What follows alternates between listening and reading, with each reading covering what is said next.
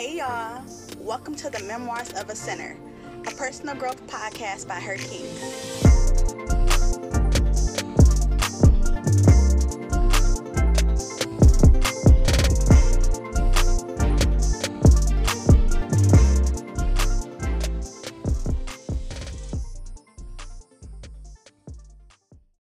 I've been doing research on urban homesteading, and what I found is that there is purpose in pruning in the right season.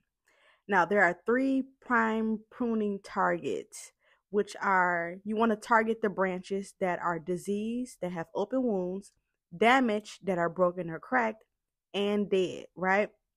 So that you can reap a proper harvest in harvest season. You also want to cut off branches that are called crisscross branches. So they are branches that are competing for the same space.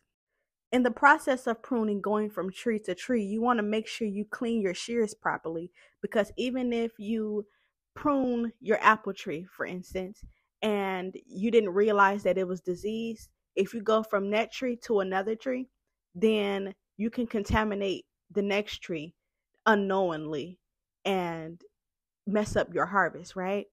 So the goal is to try to keep the longer and thicker branches so a lot of light and air can get into the tree. And you want to remove smaller branches so the tree won't have to use all of its energy trying to give nourishment to the branches that won't produce as great of a harvest. The longest the longer, thicker branches can support the weight of the harvest. In Genesis chapter 12, God moves Abram and Sarai from amongst their family to a new land and gives them a promise, right? He he makes a covenant with them. And he tells Abram, as many as the stars are in the sky, I will make your offspring. Now they had no children. And so this is God promising them a child. Now they are getting old in age and impatient. And so Sarai, Abram's wife, has a bright idea and she says, well, since I'm getting old, I know God made a, made us a promise, but I'm impatient and I, apparently I need to do God's work for him, right? She's making decisions based off of her emotions and she gives her husband her Egyptian slave as a wife so that he can bear children, right? Now, as soon as Hagar, which is the Egyptian slave, gets pregnant, she got the big head. She's over here taunting Sarai, the the the person who God made the promise with, the covenant with. So in no way could it have ever worked out because God made the promise, the covenant with Abram and Sarai. He didn't make it with Abram and Hagar. And so Hagar is taunting Sarai because she feeling like that one, never that two, okay?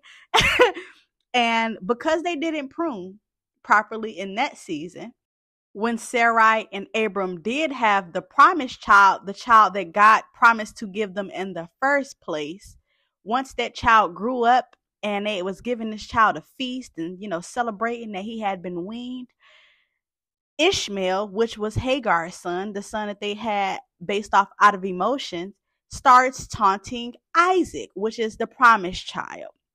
So, improper pruning, not pruning in the proper season, is now causing even more conflict later on down the line, right?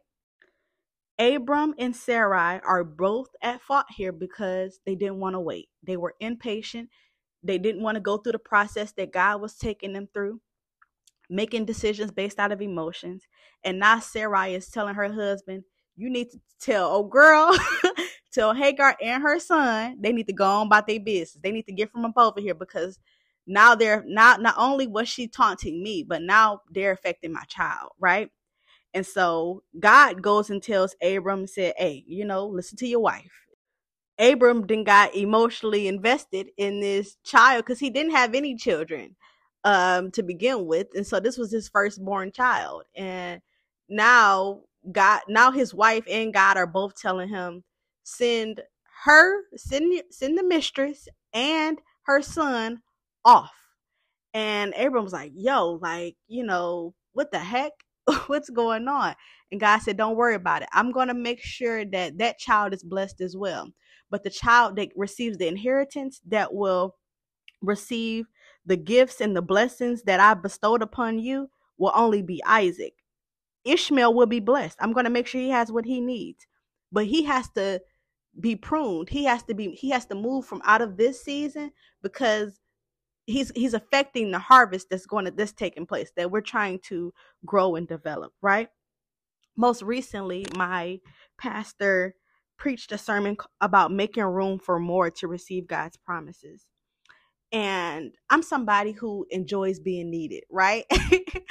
I am Captain Save Everybody, right? I want to be the first call you make.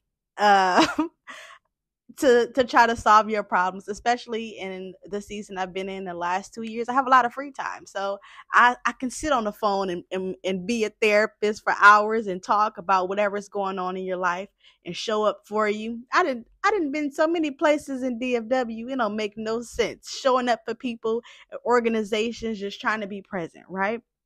And so over the last few months, I've been in a completely new season, right? This the purposeful season where God is like, we have to move some stuff around and cancel some stuff and not be so busy and outside in these streets so that you can make room and have the room for the things that I promised you that I that I'm trying to give you.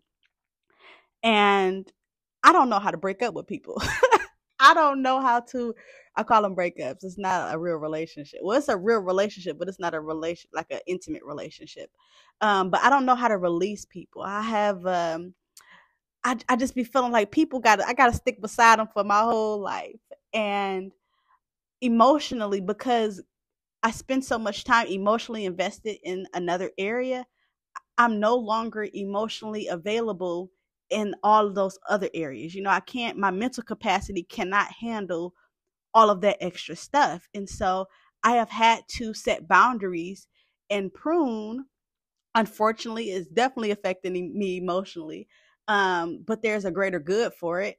Uh, I've had to release some people, some things, and uh, some places that I really enjoyed being, some things that I really enjoyed doing because I no longer have room for them. I had I had to make space for the things that God has planned for me, purposeful things, um, where I can live out His will for my life, right? I was so dedicated and invested in these people and organizations, and I'm like, what would they do without me? What's gonna happen? Like, how do they survive? How do they move forward without me? And God's like, the same way they were moving forward and surviving before you. Why do you think that you are me? Like, I will place people in those positions to help them the way that they need to be helped. And for those people that you were having one on one encounters with, now they should be developed enough to encounter me personally. They have learned enough through what you have taught them, what you what they have learned through um, your conversations that the same way that you access me, they can access me through prayer and uh, spending time with me, right? And So I'm like, you know what? You're right, God. I thought I was being like Jesus. But then when I sat down and really processed it, I'm like, oh, this kind of this kind of seemed like a narcissist. And you don't want to be one of them. Like it made me stop and correct how I moved because I don't want to have a God complex and think that everything revolves around me and without me in your life, you won't be able to move forward. And and that is very ghetto. Do not recommend.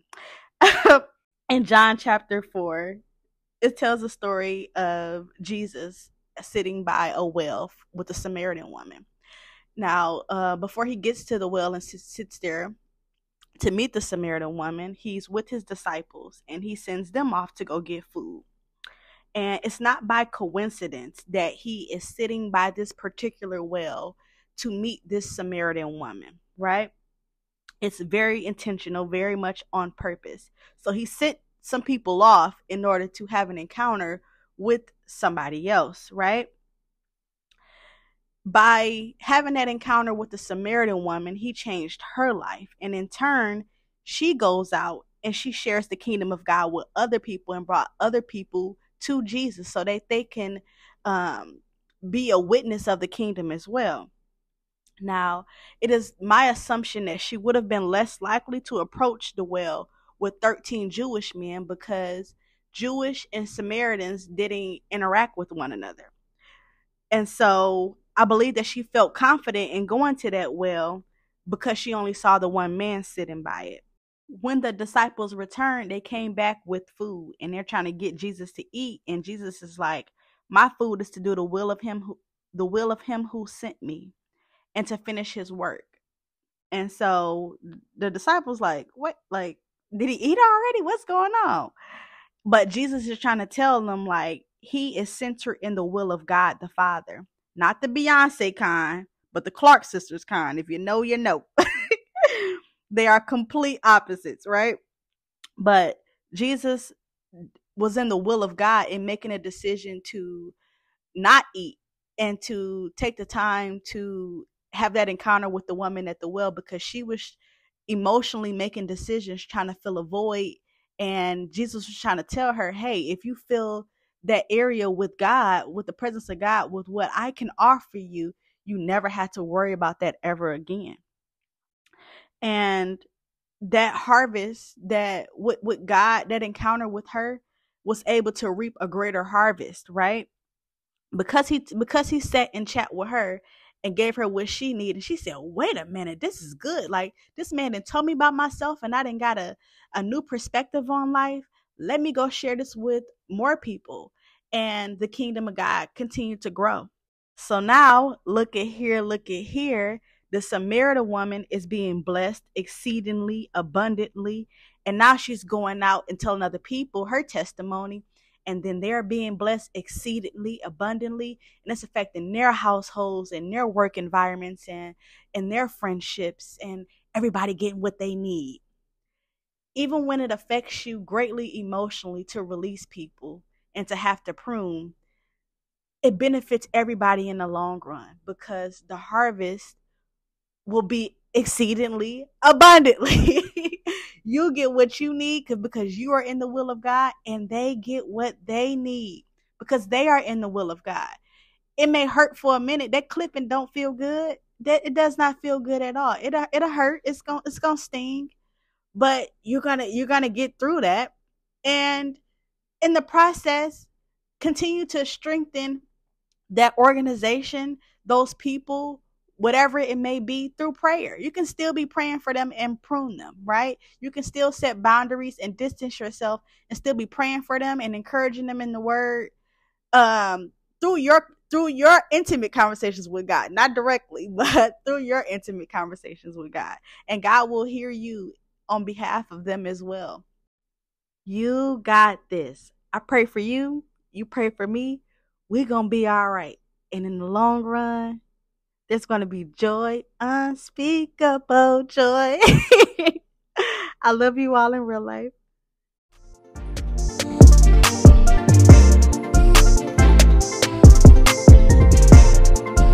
If you'd like to stay connected, you can follow me on Instagram at the Insta About Her, T H E I N S T A A B O U T H E R, and make sure you subscribe and leave a review.